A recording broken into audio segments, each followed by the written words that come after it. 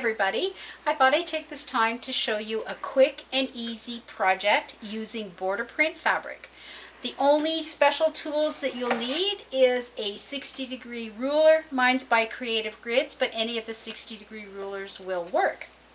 Um, there's a couple different variations and we will go along with that as we're going. I'll show you the couple uh, variations. So let's study a border print. All border prints have different measurements and different sizes. And um, it depends on how we want to do this, how we want our finished border to look is where we're going to cut it.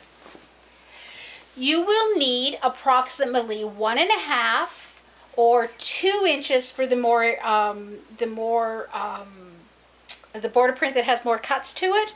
You would actually want two meters of fabric or one and a half for this uh, easy one. And then just depends on what you're going to do. With that one and a half um, meters. meters, you're going to get two table runners. If you can cut absolutely four pieces exactly the same, you will get four identical runners. Or on some, you might want to cut two large ones and then you would have two little pieces left over to do something else with. So this is the one that we've used. I've already cut a little bit out of it. So I'm just going to go to my sample and show you how to cut a strip.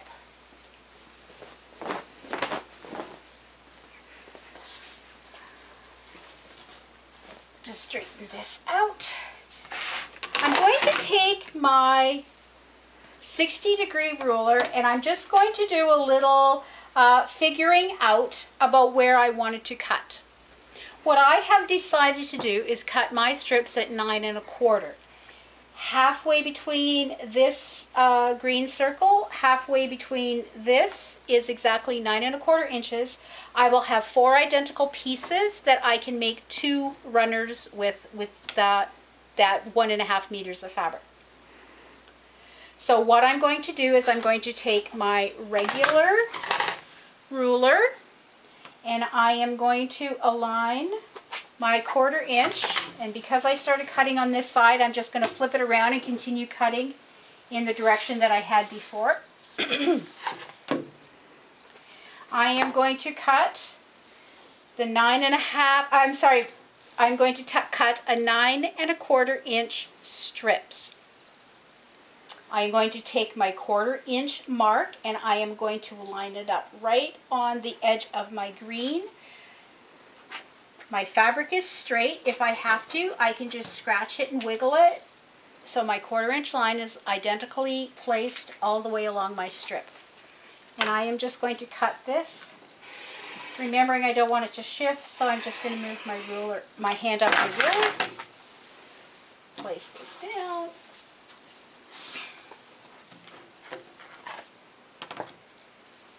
Again, I'm lining up my strip with the edge that I've already cut. My dotted line, my quarter inch line is right on that little gold line of my border print. And I'm going to cut these up.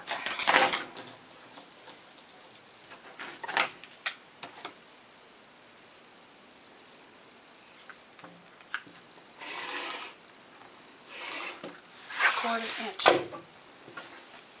Now I want to cut this exactly nine and a quarter inches wide. So I'm just going to grab a square.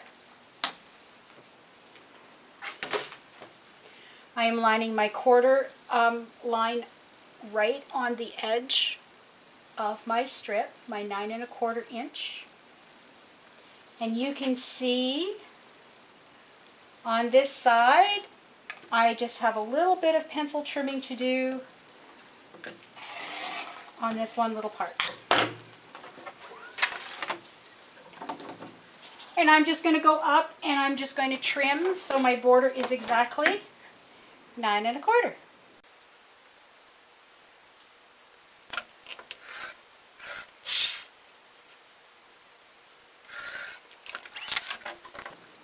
You can see as I'm cutting along my strip if I have to adjust my ruler, if I hold my rotary cutter like this, I always know that this is butted up tight against my rotary cutter. I'm always at the nine and a quarter. So I can adjust the top of my ruler in and out, whichever way I need to, to be able to cut the rest of my strip. Now I'm going to repeat that process one more time with this other border.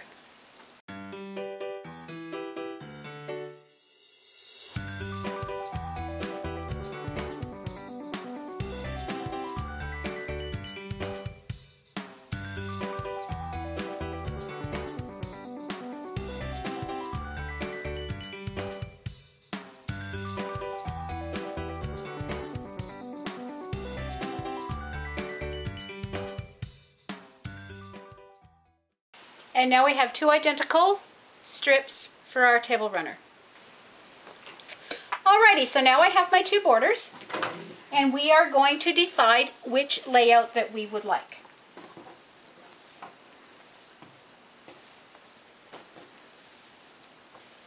So I can take my two borders and you are going to put them back to back so they're mirror images to each other.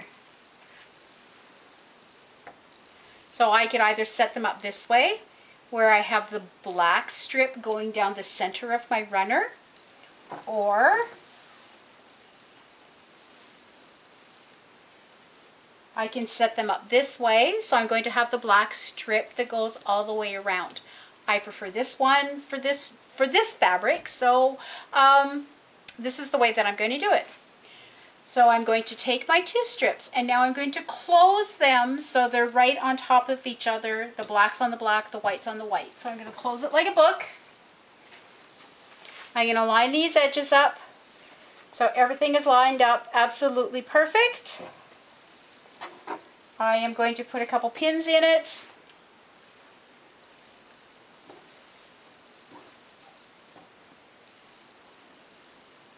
And we're going to cut our edges. So now we're going to use our 60 degree triangle ruler and we are going to cut the ends of our strip.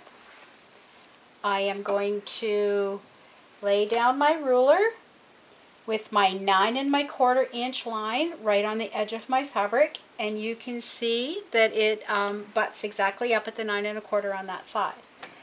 I'm going to cut and these triangles are our only garbage that we're going to have from this. I am going to cut this side. These are the triangles that I want to keep, so I'm just going to cut those or place, place those to the side. I'm going to rotate my ruler so it's upside down. I'm still going to use that nine and a quarter inch line. I am going to align it on the edge of our uh, fabric and I am going to cut those off. We're going to put these to the side. We can use that for something else later. I'm going to do the identical thing on the other end. So you can see this is the one that I said that I wanted to keep. Here is our uh, border on the other side. So I'm going to open this up. I'm going to open these up and we're just going to align them on the edge of our border. And this side as well. Align and align. So you can already see how really neat it looks with the little pointed ends. It looks like we've put borders that go all the way around and we're really not trying all that hard. So what I'm going to do is I'm going to sew these two triangles to this side these two triangles to that side. And then I'm going to sew down the center and then my top is done.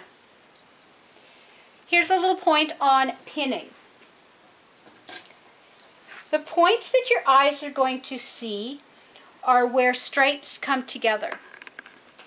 If that was off, that's going to be the place that's really going to look awful to your eye. So we want to make sure when we're pinning these that we align those stripes up perfectly.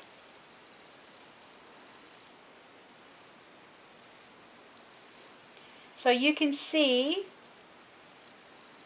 that they are totally lined up absolutely perfectly. And that's where I'm going to pin. This is all bias. Be careful it's not going to stretch. Oh, and this is my brand new quilting tool. It's one of the office supply wet things because we're not allowed to lick our fingers anymore and I can't move my fabric. it's actually wonderful. So I'm going to take the green stripe. I'm going to line it up on this side.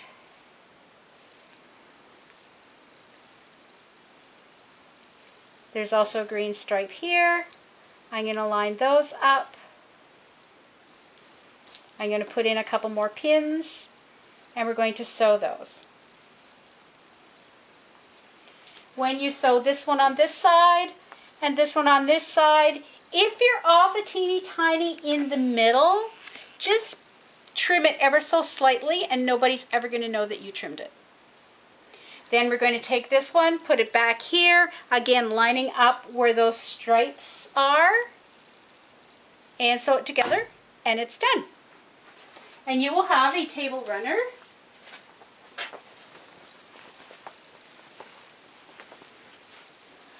that looks like this. So let's go one step further though. We're just going to place this one to the side. And we're going to get our other couple border prints, uh, border stripes. This time I'm going to cut them one at a time. When I cut this size, I like to have probably two meters as opposed to the meter and a half, only because that gives me the opportunity to fussy cut. What do I mean by fussy cut?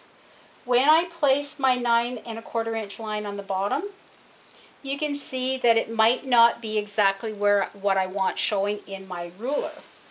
So I could actually move this, have the opportunity to waste a little bit of fabric and move it back and forth until it gets to where I want it to be. That being said, I'm okay here. So I am going to cut both sides of my triangle. One, two.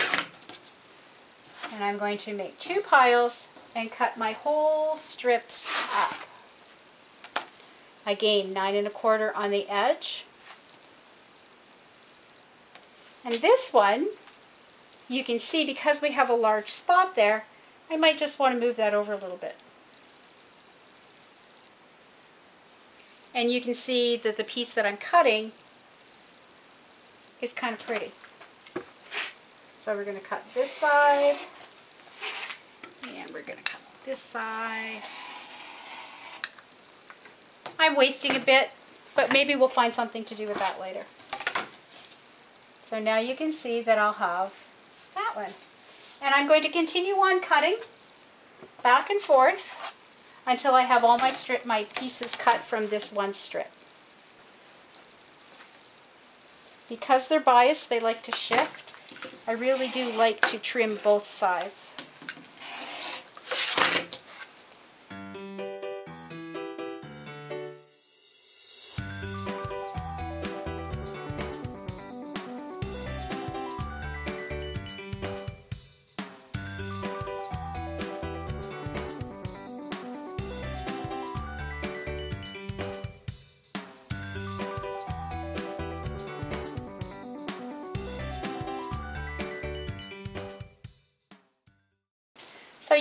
Of the one strip, I was able to cut four in this direction and four in this direction. Let me show you exactly what we're doing now.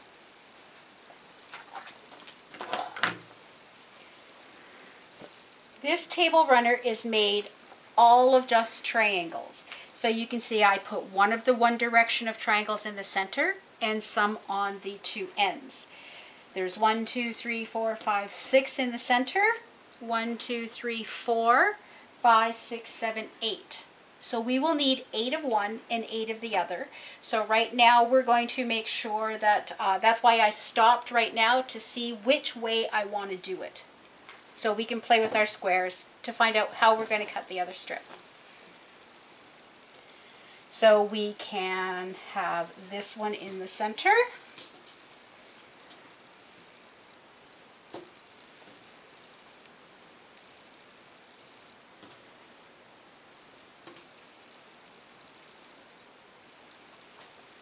And then we can have the black on the outside edge.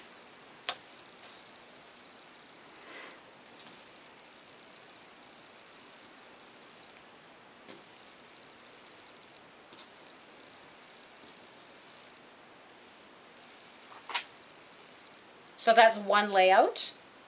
Or we could do the other one. What I love to do right now is take a picture of it with my phone, with my camera, and then I can actually see what it looks like this way, switch it around, and then I can flick back and forth and see which uh, layout that I like the best. Or this would be our center circle.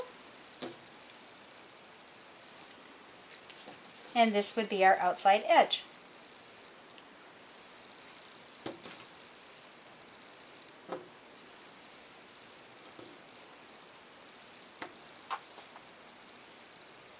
I don't know which way I like better.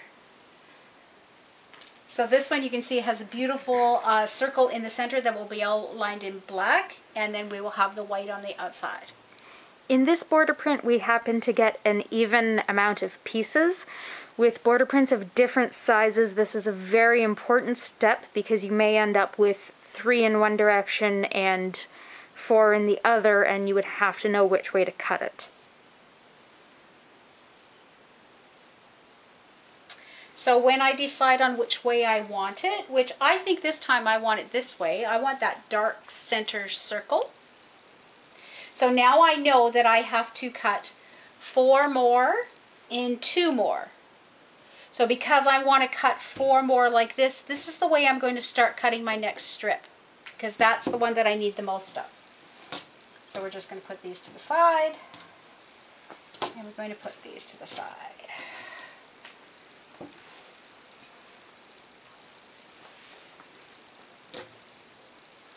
So because I want the white to be first, I am going to cut that one first. So remember, I need four and two of this way. So I'm going to continue on cutting.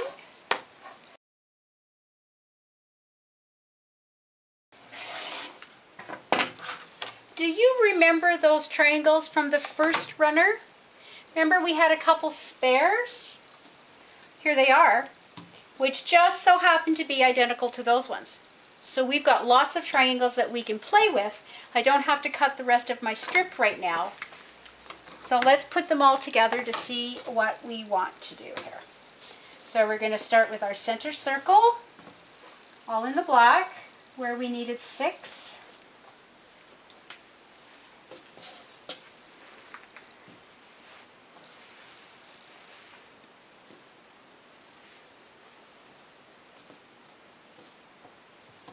And we can switch and rotate them whichever way we want. I kind of like that the reindeer are opposite each other. If I wanted to be a little bit more precise, I still have all that other fabric. I could cut a few more triangles here and put them so there would just be balls and maybe not half of a, a deer or whatever. And now we're just going to put these ones, and now I have a lot to play with. So I can decide which ones I want where. So see, you can see that those ones are almost identical, so I'm just going to put one of those on either end.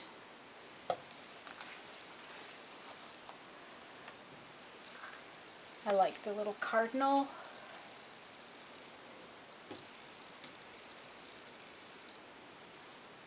And got some more snowman. I don't want to put a cardinal together. Snowman, cardinal. Or I can just take this one and I can put some ornaments in instead of the cardinals. Again, the same as the other one. I'm going to sew this side together and then this side together and then flip them and sew across the center. All you have to do is line up your triangles. They will line up absolutely perfect because all the sides are the same. Again, matching those stripes.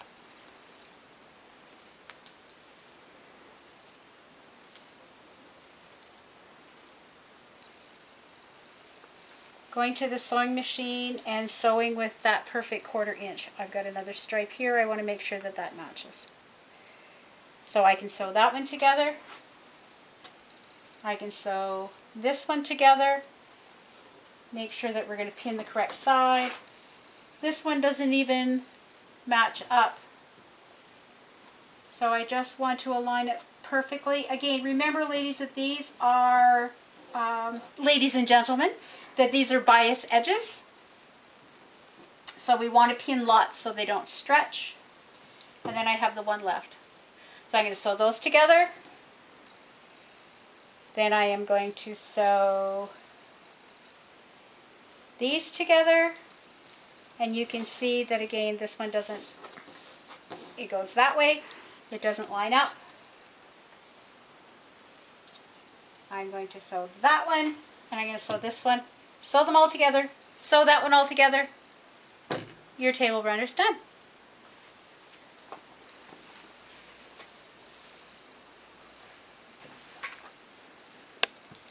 Six in the center, four on each side. The quilting is absolutely um, easy to do on these runners as well. All you have to do is layer it with your batting and backing. Using your walking foot, use the stripes that are on your fabric and just quilt along them. It'll make it look like it's pieced. If you don't have a long table, here's something to think about. Just make circles. You can also make little circles, so they could be for your end tables. Lots of different things to do with this. It's really kind of fun to play with. So thanks for joining me. Um, I hope you try it. And uh, if you have any questions, um, don't hesitate to find me and I will help you out with those. And don't forget to uh, subscribe to my YouTube channel and uh, like the videos. Thanks all. Bye now.